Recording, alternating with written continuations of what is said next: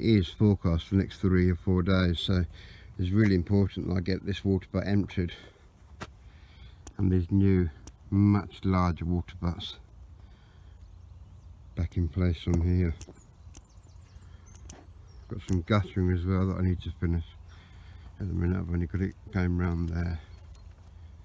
Kind of terminates there so I need to continue all the way down this side so we can catch as much of the rain as possible water storage is one of the biggest problems on the plot and I'm actually going to use these uh, smaller slimline butts I'm going to put a, a, a, frame in here and set the water butt up on that. Have one there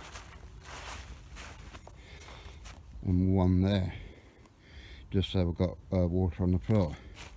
And then getting the water uh, into there, I shall collect it from both the sheds and the water butts that are going to be on there. Pump the water into these, and I've got accessible water in this area for, for doing all these beds here and uh, new ones and I've got to go in here. The uh, slabs that I want to use here aren't quite wide enough. The, the gap is 20 um, inches across between beam to beam. Pavement slabs are only about 18 but hopefully that should be enough support there to support the weight of the water. It is only a slim line butt so it's not so heavy. I can fit the watering can underneath fine. So I've just got to screw it all down there. So just transferring some water from this slimline butt here um, on the tool shed into these containers. Gonna put it into the two water butts down the bottom just to give it a bit of weight so they don't move anywhere there's now eight gallons of water gone into this um, water butt transferred from the other end of the plot where the water's collected from the shed. Should be enough weight there to uh, support structure. Just hoping that once this is full the weight it's not going to crack the slab because I have only got the two supports there.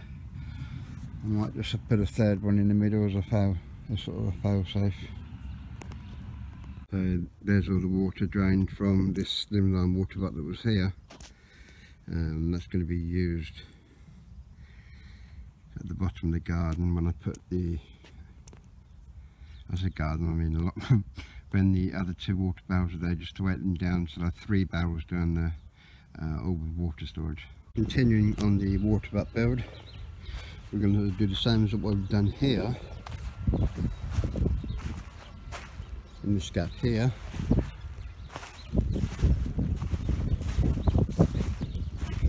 and in that gap here giving us three water butts at the bottom of the uh, allotment section here and that should serve all these raised beds and the raised beds that will be going in here and here.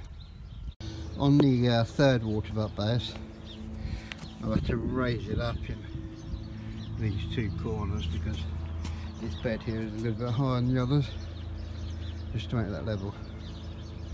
So I'm going to get the third water butt set on here and then get them filled up. Now I'm going to get these containers emptied and fill the two end water butts up. Remember, I already filled this one half in the middle.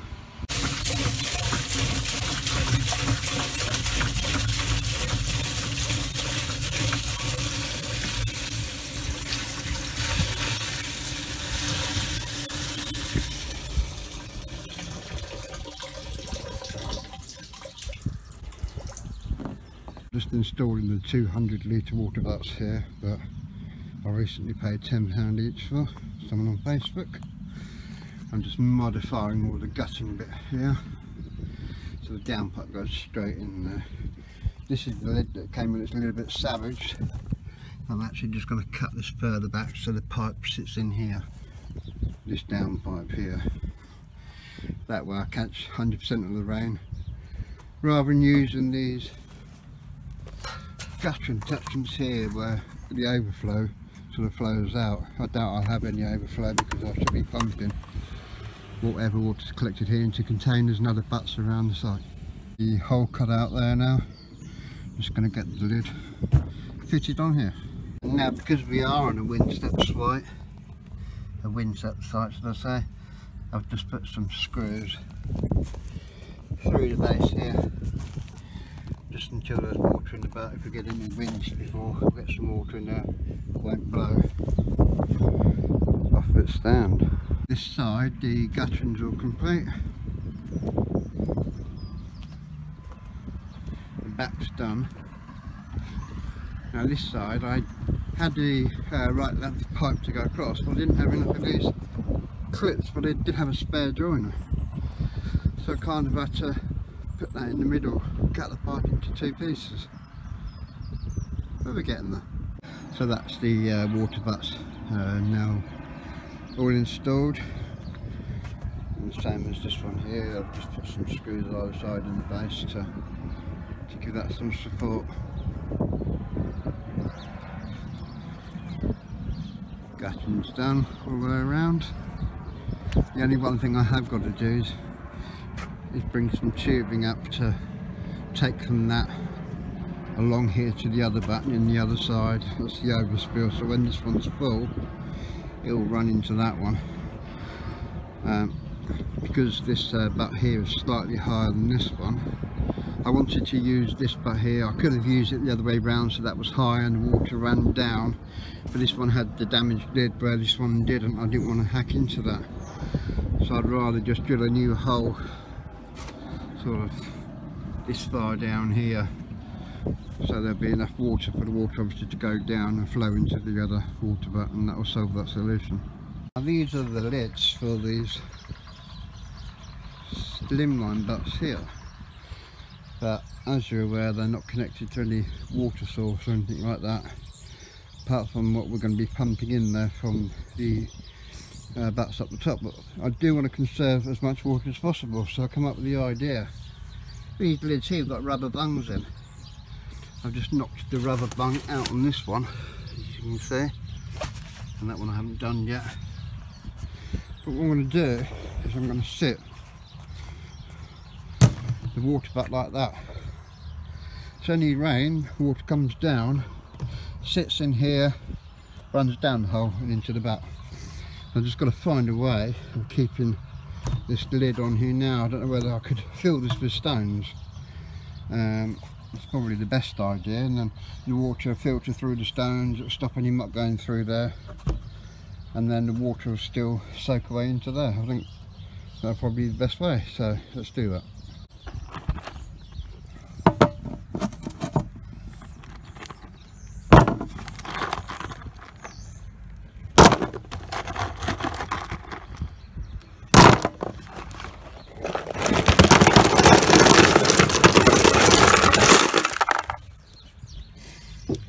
These aren't decorative stones, these are just stones where I've rotavated the plot and left the plot. The rainwater's gone, washed all the loose soil off the top and left all the stones exposed on the surface. So these are just stones that have been salvaged from the plot. And I don't think that's going to go anywhere. So that once I've done the same to those two. That's the water project. For the water butt complete. I'm Gary from G&B Allotment Vlogs. If you haven't yet checked out our new website head over to www.allotmentguide.com you can subscribe to that and uh, join the forums, join in the discussion, get information, contribute information and much much more. If you haven't yet uh, subscribed please do subscribe.